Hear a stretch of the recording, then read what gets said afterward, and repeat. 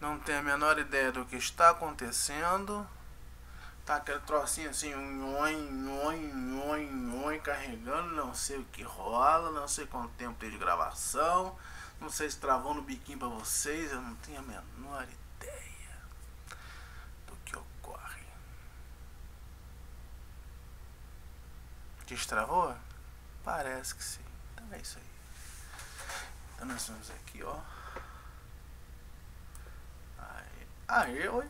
Bom dia, boa tarde, boa noite. A tosse parece que finalmente tá largando meu pé. Então a gente vai voltar para as rotininhas que eu estava fazendo antes da minha coela quase cair, né? Então estamos aí.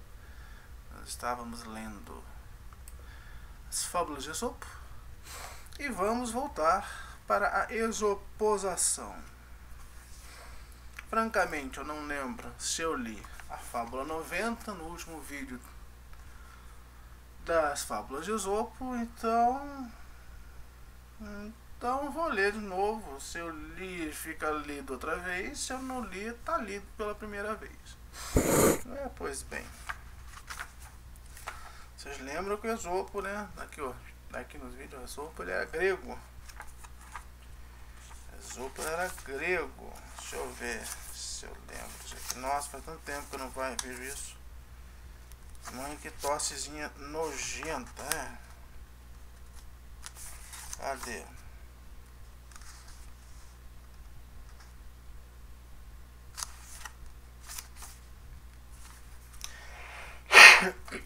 Que é de 6 a.C. Ele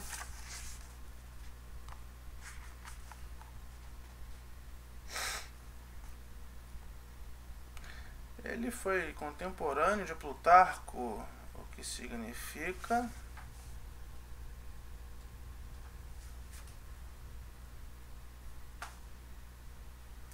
significa Plutarco, Grécia clássica.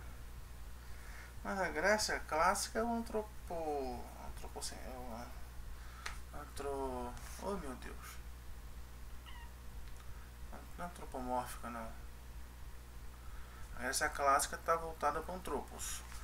A Grécia arcaica está voltada para o Arquê. Não, a Grécia clássica. Mamãe, agora deu pano, bagunçou minha cabeça. Então, período homérico, né? Grosso modo, você divide a história da Grécia Antiga em quatro partes. O período homérico, que é o período mítico. O período do arqué, o arquê, que é onde se procura a origem das coisas, que é, é o início da filosofia.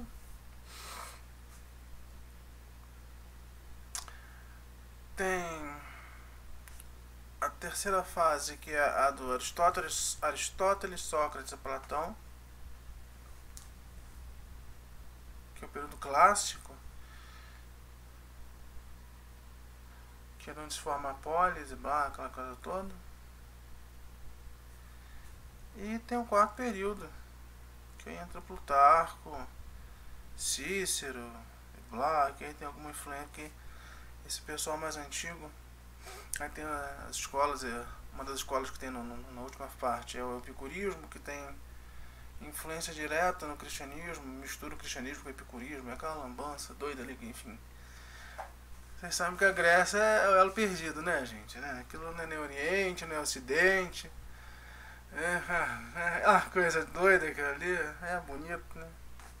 Fez foto, né? Nunca fui, mas enfim. É, é aquele troço ali. A Turquia, era, a Turquia fazia parte do, do Oriente, do Ocidente, né? era, era, fazia parte do Império Romano.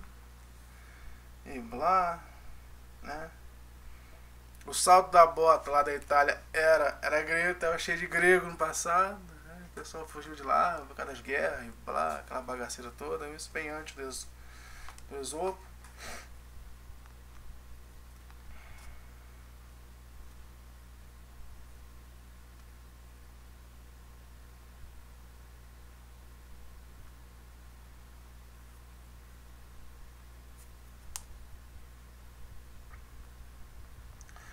Então, o Esopo é da mesma época de Plutarco, então essa é a fase, é a quarta fase.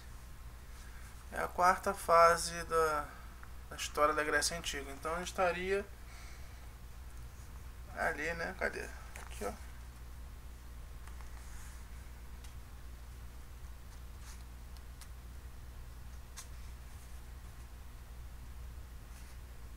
É.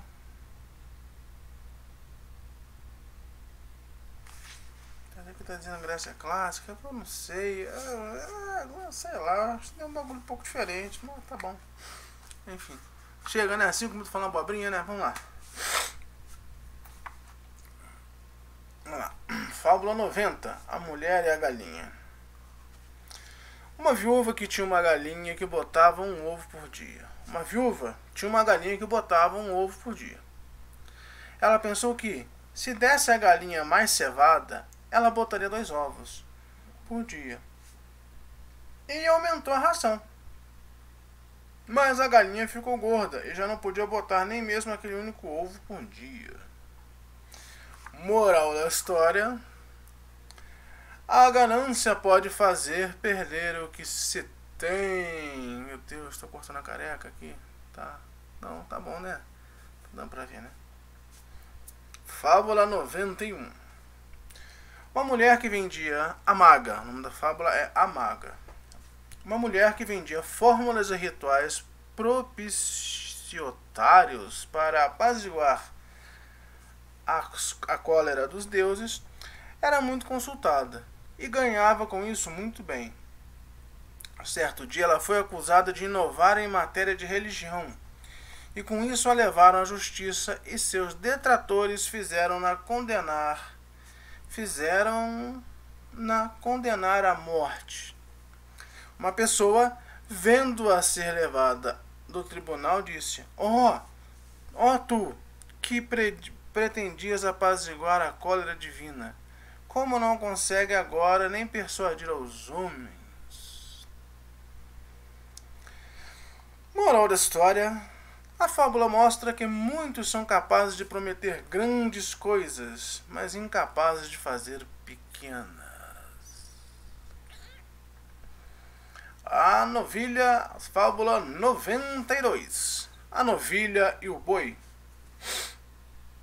Uma novilha, observando o duro trabalho de um boi, teve pena de seu sofrimento. Mais tarde, quando uma, mais tarde, quando de uma solenidade religiosa desatrelaram o boi e pegaram a novilha para sacrificar. Peraí. Uma novilha, observando o duro trabalho de um boi, teve pena do seu sofrimento. Mais tarde, quando uma solenidade religiosa, quando de uma solen, quando deu uma solenidade religiosa, desatrelaram o boi e pegaram a novilha para, para ser sacrificada.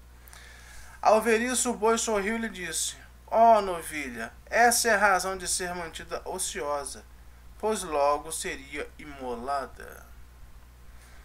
Moral da história: O perigo espreita o ocioso. Cadê? Tinha uma notinha de rodapé aqui que eu não sei onde que era. Ah, tá. Essa nota de rodapé é da Fábula da Maga. Aqui diz que alguns manuscritos apresentam a moral que aqui aparece entre parênteses. Eita, sono.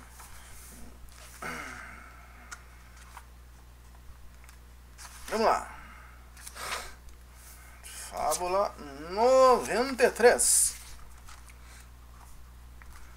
o caçador covarde e o lenhador. Um caçador procurava a pista de um leão. Perguntou então a um lenhador se ele vira pegadas de leão e se sabia onde era a sua toca. Este então respondeu: Vou te mostrar o próprio leão agora mesmo. O caçador ficou pálido de medo e todo trêmulo.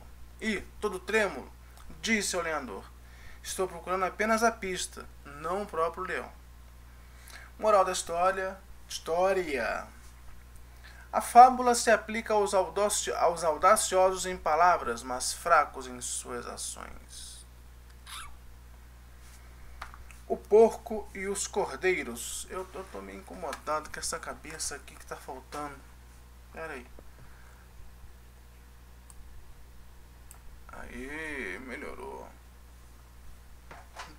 Melhorou. Tá, tá bom. Agora eu posso sacudir que não vai arrancar muita parte da cabeça. Vamos lá. Fábula 94. O porco e os cordeiros.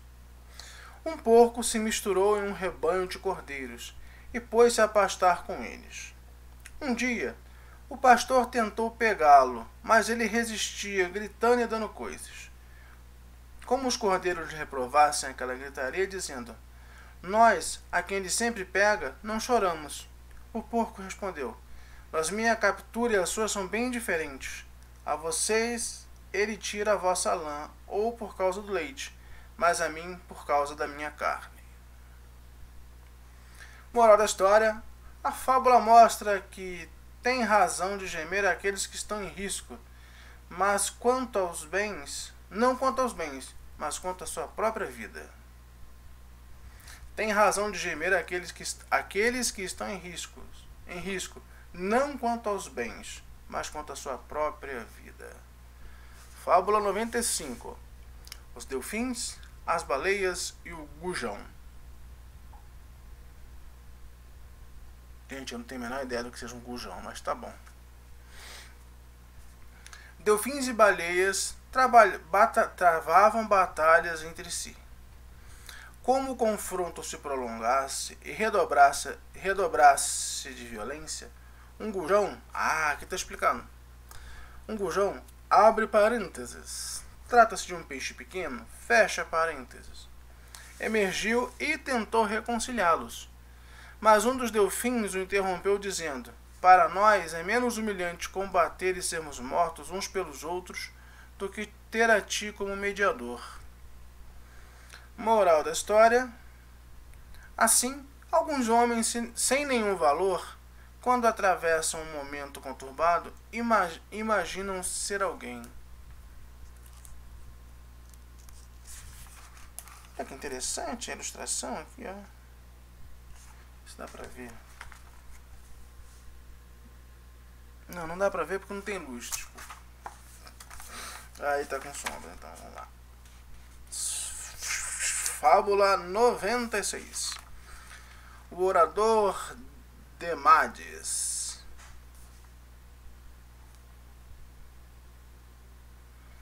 Aí, nota de rodapé. Vou começar pela nota de rodapé porque fala sobre o Demades.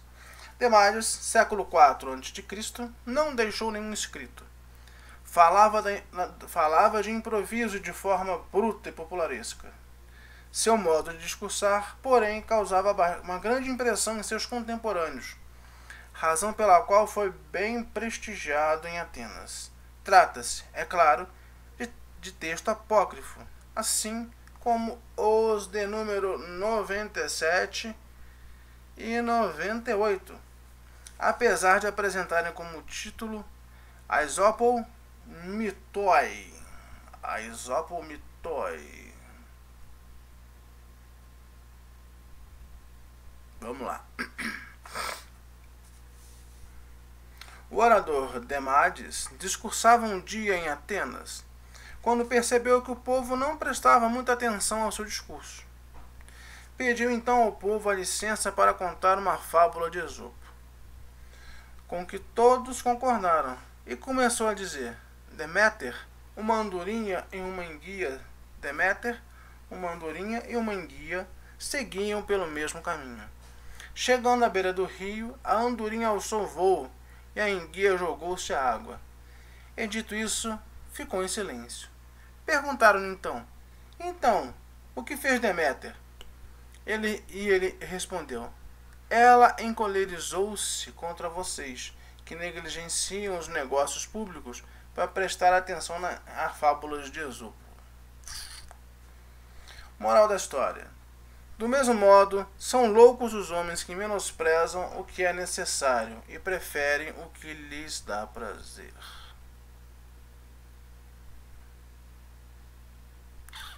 Vamos lá. Fábula 9, 7, 97. Diógenes e o Calvo. Diógenes, Nota de rodapé.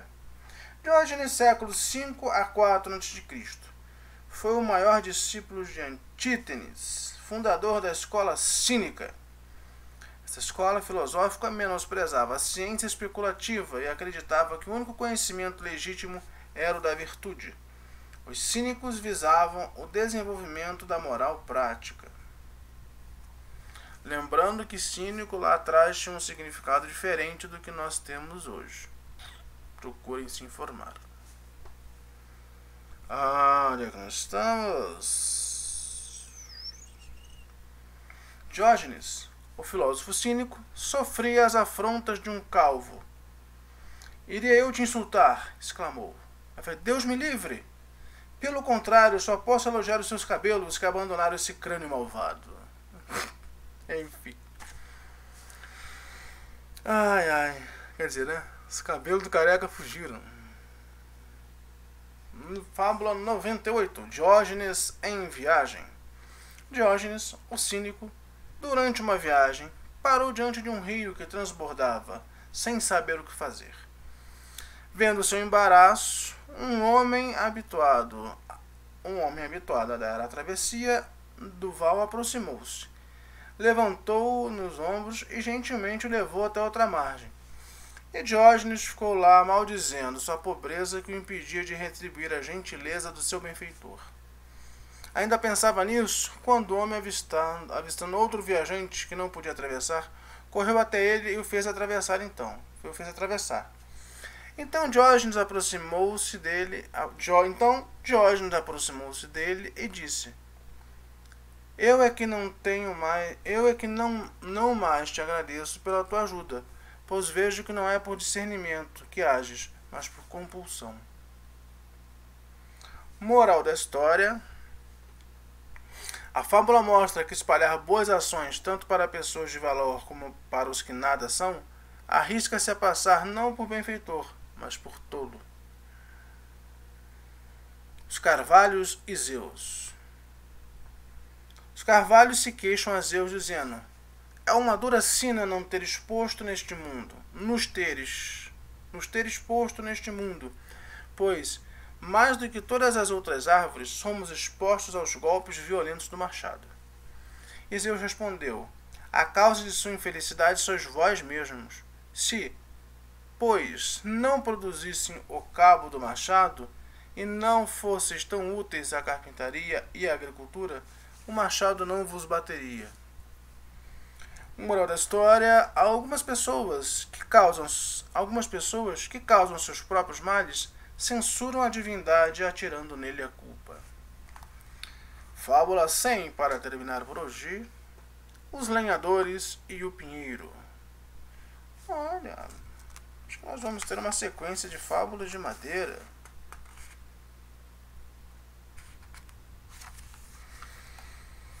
lenha, os lenhadores e o pinheiro.